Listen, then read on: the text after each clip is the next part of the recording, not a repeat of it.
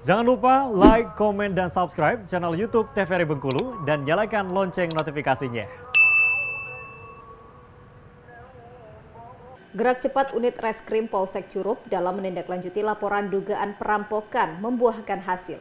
Dua pelaku berinisial B dan F berhasil diringkus usai merampas motor dan menusuk korban. Petugas terpaksa memberikan tindakan tegas terukur terhadap tersangka berinisial B lantaran berupaya melawan saat akan ditangkap.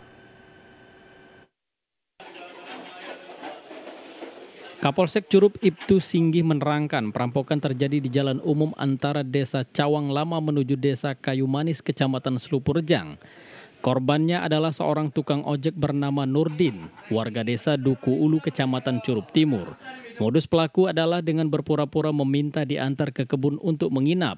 Namun setiba di kawasan sepi, pelaku berinisial F yang duduk di bagian tengah meminta berhenti dan langsung menusuk punggung belakang korban sebanyak tiga kali.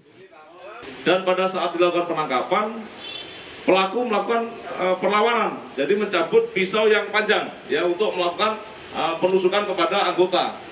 Jadi melihat apa melihat pisau yang di, telah dicabut, jadi dilakukan tindakan tegas dan terukur.